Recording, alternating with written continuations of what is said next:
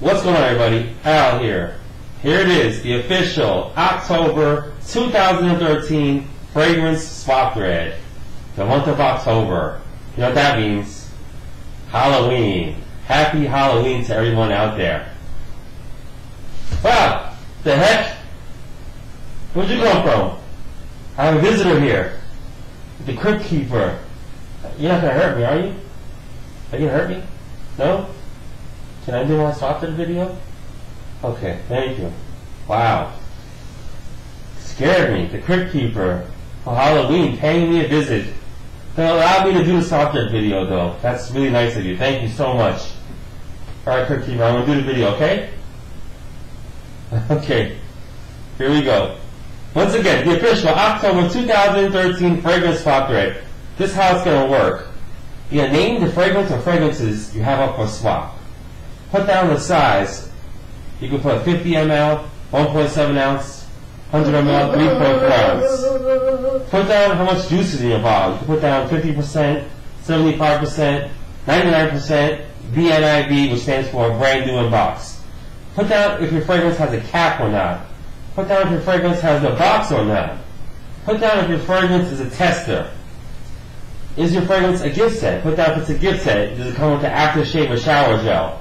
Most important, put down what you're looking for in return for, for a swap. If you're selling a fragrance, put down how much you want. You can also do a video response. Do a video, send it to me.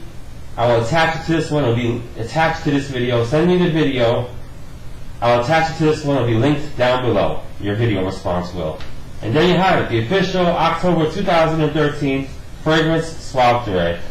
The Crypt Keeper is back again. Wow. The Crypt Keeper, please don't hurt me, okay? Are you into fragrances, Crypt Keeper? Ah, okay. The Crypt Keeper's into fragrances. That's awesome. What I have up for swap this month is a real goodie. Dior Homme Intense. Take a look. Dior Homme Intense is what I have up for swap. This is a 3.4 ounce, 100 ml bottle. It's about 95% full. It has the cap and no box. Cap, no box. This is uh, the second version of the Homme Intense before the reformulation. The second version has a black collar, but it has the sexy, beautiful cocoa note. Second version smells almost identical to the original silver collar. I own three bottles of the Homme Intense. I own the silver collar vintage. I don't need that much juice. I figure I'll swap this one out. This is batch code 1V02. Amazing juice right here. you can't go wrong. 95% full. Dior Homme Intense. The reformulation has the pear note. This is the second version with that nice smooth cocoa. Lasts a long time, projects really well. Smells amazing. Yes? Crypt Keeper likes it. What am I looking for? Anything interesting. Just make me some offers.